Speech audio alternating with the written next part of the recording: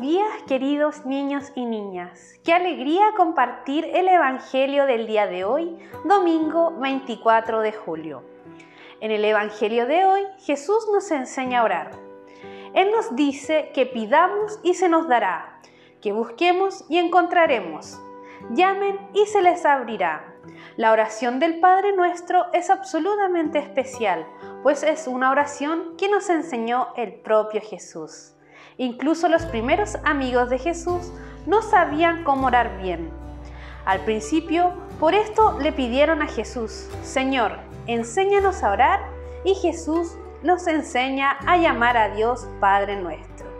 Él es un Padre amoroso, es bueno, justo, cariñoso y fuerte. Él nos entrega todo su amor.